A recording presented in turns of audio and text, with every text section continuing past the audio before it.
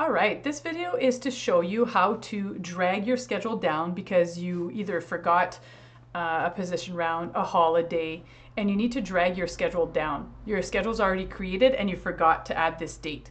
So now that I already have a schedule, what I'm gonna do is I'm gonna go to the menu, Manage Surfaces Scheduler, and then I'll see my schedule here, see the boxes, and if I go down, I can see my schedule. I'm gonna make my life a lot easier by uh, removing some of these dates in the filters. So I'm going to specify my filter to only see the league that I need to look at. This one's easy, it's only got one of them, but in your case, you might want to choose one of them. Choose the date of the week and also choose the time. This way, I'm not looking at 6 a.m. in the morning. I don't need that right now. I'm just going to look at the actual time of the schedule. So, oh, and see here, I put too many. I'll go till 10. So doing that with my filter now, I can see 7 p.m. to 10 p.m. every day. So it makes it a lot easier rather than looking at them uh, in a, an entire day. So you see here the filters. Um, and the other thing I'm going to do is I'm going to add extra dates at the end because I'm dragging down, right? So right now, if I go all the way to the bottom, I've got April 5th as my last date, but I don't have any extra dates to, mo to move in there.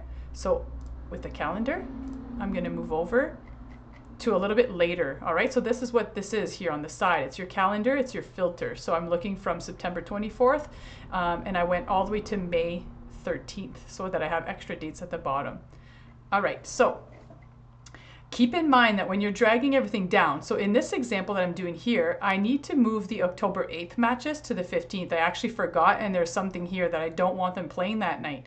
Maybe it's a it's the weather uh, tornadoes or snowstorms and I need to move these down. So I can't just grab everything and move everything down because I got to keep in mind that I've got a date already for Thanksgiving here and I've got the Christmas holidays. So I can't just drag everything down because I'll be, um, you know, dragging them over these, these actual dates here. So in that case, what I want to do is I'm going to start from the bottom and I'm going to move everything down a few days. So here at the bottom, I grab them like this. Okay, and this is where it's a, a little trick that's gonna make your life a lot easier is I put my mouse here on the side of the boxes I wanna select. I hold control on my keyboard.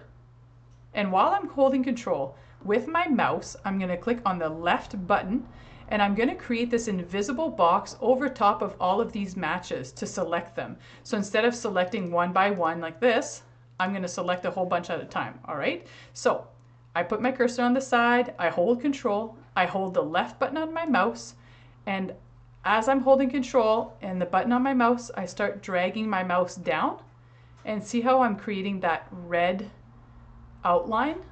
And whenever I drop, I'm selecting all of those matches. All right. So, and if I click away, I've lost everything.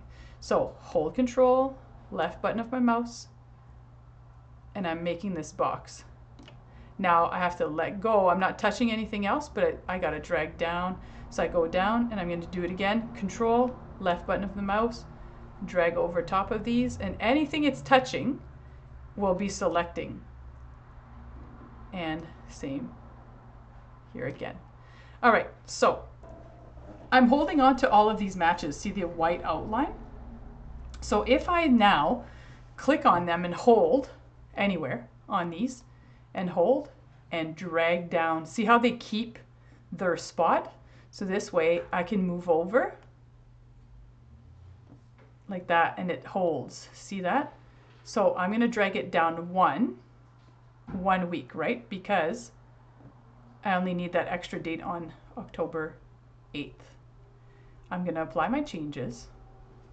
And the reason I'm only grabbing after Christmas is because now see how I just, I only need this one date to now be moved over to after Christmas.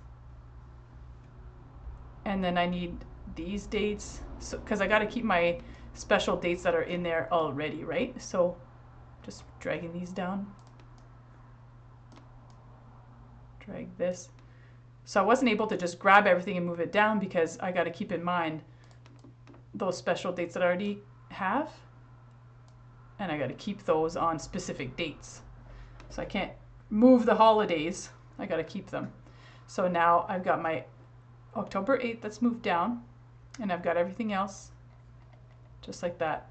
Makes sense? And I apply the changes. And that's all for today. Thank you very much for watching.